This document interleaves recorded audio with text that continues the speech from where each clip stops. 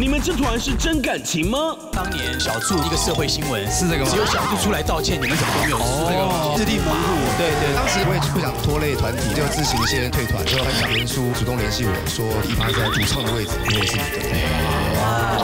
当时小柱就被封为台北总马，一八三其他团员怎么看他？这样的新闻我们会常常会被公司念，说你扫出去那一些夜生活都是他在拖累团体，也不是这样讲的。今天晚上十点，小心。